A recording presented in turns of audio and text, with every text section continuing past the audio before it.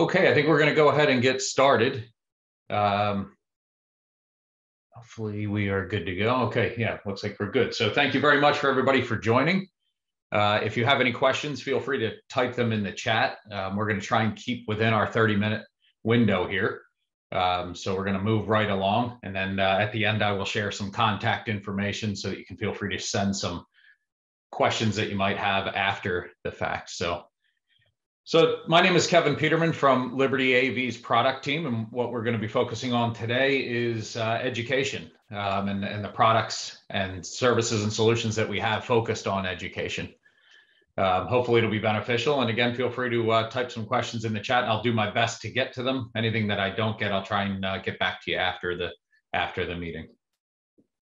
So moving right along here. So this is really what we're after is, is that I think everybody's you know on board and otherwise you wouldn't be on this call um, to, to learn about technology and to look at the ways that we can enhance classrooms right um, technology is known to improve learning and you know it's really the way that that things are moving uh, in, in classrooms all over the globe these days uh, but there's challenges right there's a lot of budgetary challenges and different things and this particular slide really kind of says it all right this is trying to find this middle area when we're talking about classroom technology can be a challenge. How can we create products as an industry that fit that that, that solve a problem, that fit a need, uh, that are easy to use, right? Uh, so that a teacher can use them and not rely on a, uh, a technical person, but that also hit a great price point and have a great value, right? Oftentimes in the world of technology, in the world of a lot of different industries, these things are very difficult to accomplish. You know, the, the old saying, if you have to pick,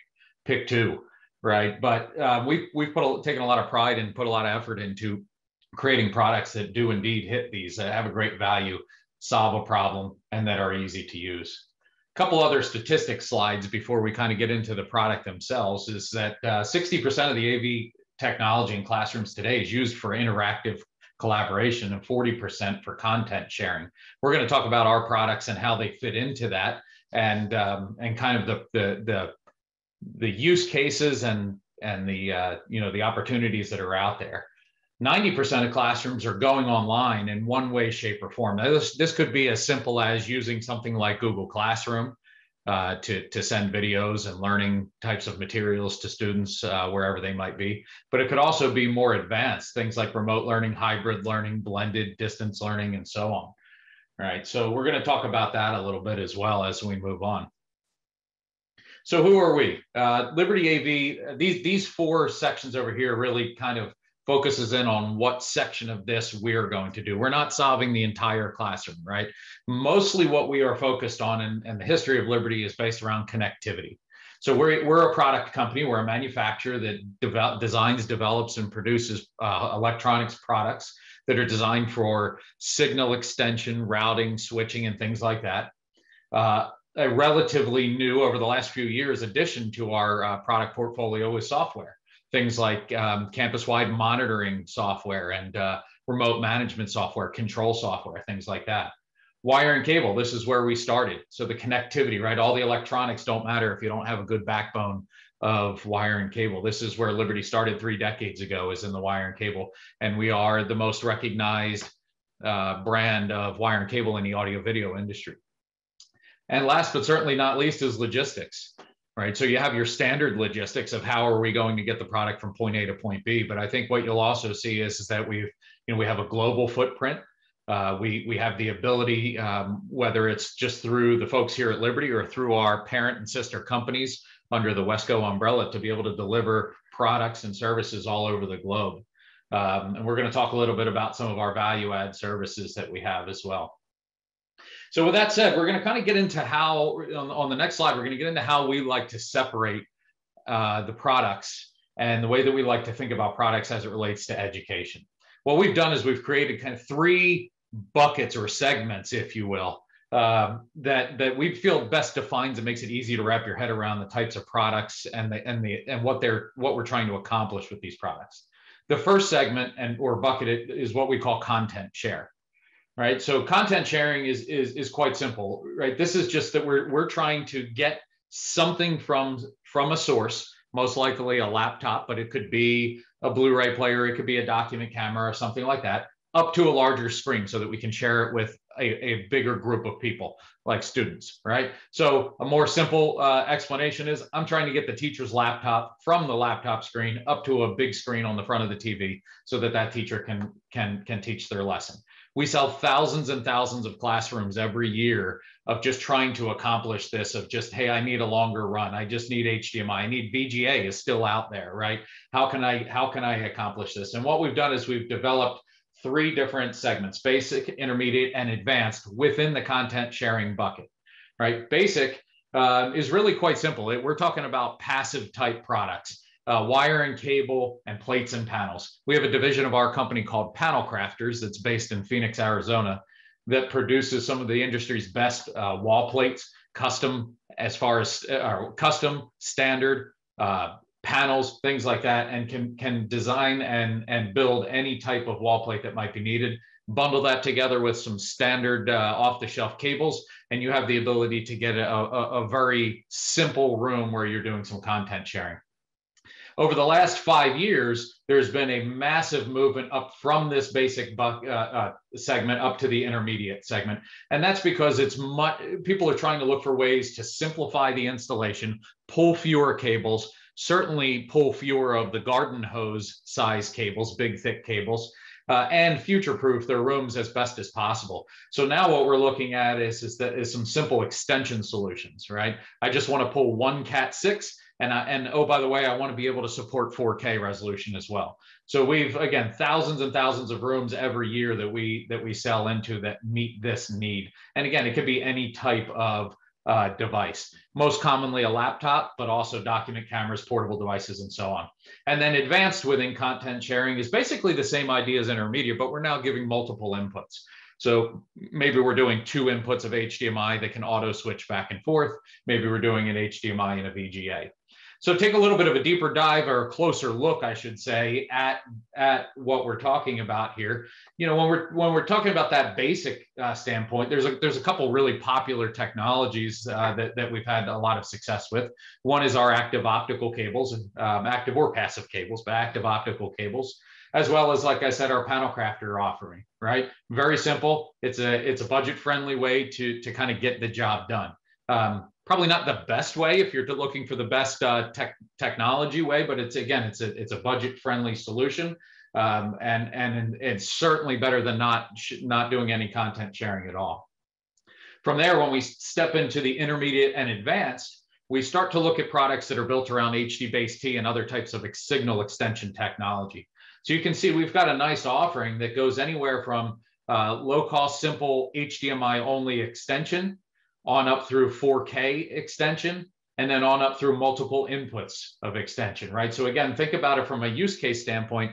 Think about that you might have the teacher's laptop and a document camera. And he or she may want to be able to very easily just connect and switch back and forth between those two without having to play with a remote or touch the TV buttons or do anything else, right? So again, very simple uh, and, and get you kind of from that basic to intermediate up to advanced in the content sharing. From there, we move into what has become, from a from kind of a category standpoint, what has become the dominant category in classrooms, and that is what we call interactive sharing. Um, and, and basically what we're doing here is we're doing all of the same things that we did with content sharing, where we're still trying to show that laptop up on the screen, but now we're introducing USB, right? And the reason we're introducing USB is there's typically an interactive display here. It might be smart, it might be Promethean, it could be any number of you know, uh, Clear Touch, Clever Touch, all of these different interactive displays, whether it's a, a, direct view display or whether it's a projector, there's lots of different options. But the one thing that's consistent is that we need to get USB back from that display to the teacher's laptop or to whatever computing device is running the software that needs to interact with that said display, right? USB is a challenge because USB natively, USB 2 natively can only go about five meters over a copper cable. So, you know, if, if you think about that, you know, we're talking about 16 feet, five meters, 16 feet of length. That's that's very difficult to deal with, especially when if the teacher's desk doesn't sit directly below that display. So now we need to extend that and still have the content sharing. So similar to what we showed before, we've developed basic, intermediate, and advanced again. So with basic, what we're doing here is we're doing essentially the same thing as we did in the basic, where we're just getting that content sharing up, but we're also uh, extending USB. So we have an HDMI and a USB wall plate. In the intermediate, we're doing that plus some things. We're doing some things like adding a second input or third input sometimes. Um, we're adding USB-C into it. And I'm gonna, I'm gonna uh, speak a little bit more to USB-C in a couple minutes uh, because it's actually a very important technology for education. And then in advanced, we have kind of the, you can have all of it, right? We have things like microphone inputs, audio amplification, um, a, a mute relay for the emergency paging system to be able to mute, control, the campus-wide monitoring, right? So we've got all of these things that all fall under the interactive sharing. And, and let's take a let's take a quick look here at some of the specific products. So as we kind of get started, we're going to start with this guy right here. This is our number one top selling extender device. And again, it's driven by education and primarily K through 12, although higher education um, oftentimes when they, you know, especially community colleges, smaller classrooms, things like that, have very, very similar classroom technology.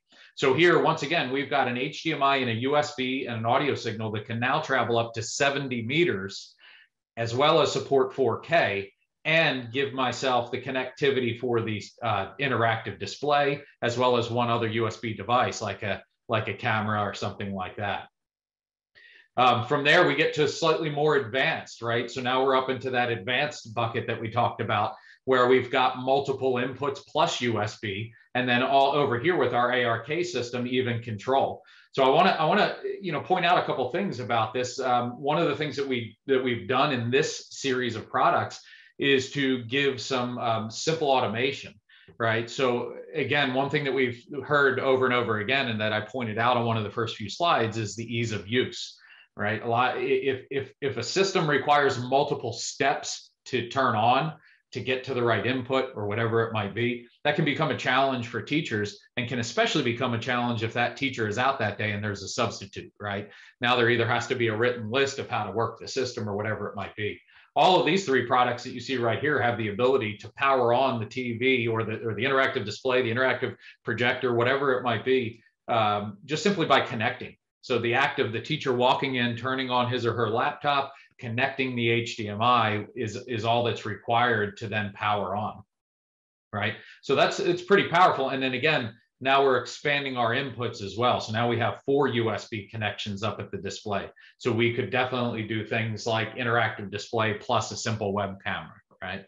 Um, over here at the ARK, I'm actually going to speak to this a little bit more detail in two slides here. So, um, so I'm not going to cover that right now. But I do want to give you one quick product introduction of a product that's coming soon before we move on. This wall plate extender um, is a USB-C focused wall plate extender that's in development. Is actually um, will be landing in the uh, in our US based warehouses uh, within the next 30 to 60 days, and will be available for sale. So, kind of a quick quick stat that I was that I found is that Google estimates about 60 to 70 million Chromebooks are used in education worldwide, right? Now that's including all the students and things like that, but that's but but think about how many that is, and if you've if you've taken a look at Chromebooks lately over the last few years, you'll see that most of them have um, well, actually, I would say almost all of them have a USB-C port, and many of them have only a USB-C port. Right? We're seeing that same thing with uh, Windows-based laptops as well, and Mac has as well has gone to uh, USB-C as a as a dominant um, input output. All right. Uh, the challenge there is, is that a lot of times that means people have to use adapters and start stacking adapters and so on. So what this wall plate allows these educators to do is a true single cable connect connection. So now that teacher only needs to worry about connecting his or her USB-C cable directly into this plate. If they need more USB ports, you have them right here on the plate, right? So maybe they've got a local microphone for a remote session or something like that, uh, an extra hub. It's built right into the plate. And then there's a charging port. So the charger that came with the laptop will be able to connect and provide power to that connected Chromebook or laptop. So we're pretty excited about this product. It's very affordable and will give, again, the ability to extend the signal up to 70 meters and that single USB-C connection back to that laptop for most applications.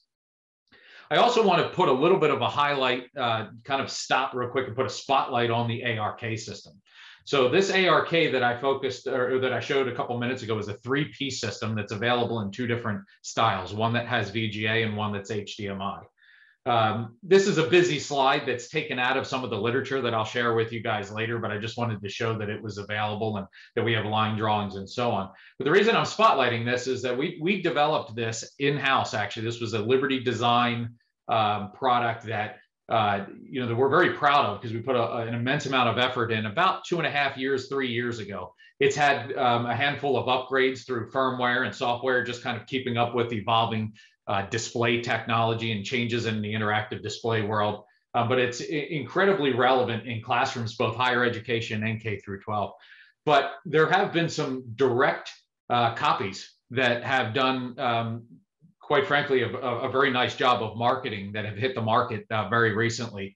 And so we just kind of wanted to point out the fact that this was, uh, you know, this is something that we're very proud of and that we brought to market and is truly a Liberty design product. So when you start seeing some that look awfully similar, you you can be confident that you know you know who to talk to if you want really the true design details. So let us know about the ARK if you have any question. Again, very powerful three-piece product that has an input wall plate, um, a receiver that has a fourth input, audio amplifier, microphone input, control, and then what's really cool is is a no cost included ARK manager software so that uh, somebody from a centralized point in that school can see the status and can control firmware update, anything that they want to do, every single device on that network. So moving out of that uh, interactive display bucket into the third bucket is, is this is kind of where it starts to get uh, blurry between the higher education and K-12, right? Higher education, we've seen there again, everything we talked about so far is relevant in higher education, but higher education has other things going on, as many of you are well aware. So here's where we kind of have that bringing your classroom spaces on, uh, online. Over the last two years, this became extremely relevant in K through 12 because of the, the COVID pandemic and, and students of all ages having to uh, do schooling from, from home or remotely or wherever they were. And so there was a big scramble in 2020 and 2021 to outfit classrooms of all types, of all types of schools at all levels and all grade levels and so on, with cameras and hubs and microphones and so on. Uh, higher education, universities, colleges, and so on have been doing this for many years, uh, but even they drastically expanded for the same reasons and have continued to expand. So, um, so we're just kind of pointing out that we have the products that not only the peripheral products that you're seeing here, but the ability to tie it all together with the infrastructure and, and the hubs and so on. And I'll touch on that here in a second. Once again, we did basic, intermediate, and advanced. So again, simple USB peripherals in the basic bucket, intermediate as we step up. So, uh, uh, you know, a higher quality speaker microphone, PTZ cameras and hubs and so on. But the, and then the ultimate challenge with all of this, with bringing it online, is, is to create the true interconnected classroom. And interconnected is the term that we're using for essentially tying everything together that we just talked about, right? So how can I do content sharing plus interactive collaboration in, in the classroom plus bring it online so that if there's somebody remote maybe it's maybe it's not maybe it has nothing to do with remote learning but maybe it's just uh, campus to campus, right? As many of you are aware, you know, larger universities have many different campuses. You can tie together learning sessions through cameras and so on. And so, you know, again, Liberty has the products to do that. And, and the important piece to take away from, from all of this is that the infrastructure and the connectivity and, um, and the signal extension is critical here, right? So USB can be, can be complicated right? It was designed for keyboards and printers and mice, right? It was designed for very, very local, short distance, hardwired cable, right? So, so the to to extend USB, it can become complicated, and it takes a lot of um, figuring out on companies like Liberty's uh, end and and some of our partners to to figure out how to do it correctly. So you you, you want to kind of not take for granted USB extension and signal extension, and just make sure that you have the proper cabling, the proper signal extension, the proper um, you know signal splitting and routing and so on when you're trying to do all of these different things, right? I'll give you one specific example. Uh, there's a, a very well-known interactive display manufacturer um, that just because of revisions of their own software has created glitches in the in the USB connectivity three separate times that we have we and all of our competitors that do USB extension have had to quickly pivot and figure out. And we're proud to say that in each of those we've been we've been the first to you know to to address how do we now extend that company's USB signals. So, um, so again, let us know. We've got a very deep, deep line of USB um, and, and signal extension products. Speaking to higher, higher education specifically, um, wanted to point out a few other things here that kind of go outside of the classroom. So higher education, as you're all very well aware, universities and colleges have classrooms that are that are essentially identical to K through 12, right, to primary school learning. Um, however, they have a whole nother set of needs that go out, uh, above and beyond uh, what what a what a K through 12 school, a primary school would you know would require. So again, all of what we just talked about in the classroom, you know, collaboration, interactive collaboration, content sharing, everything. They're getting all of that into those smaller classrooms. But what about when they have a very large lecture hall that has a massive projector, right, and maybe stadium seating in some of these larger uh, lecture halls?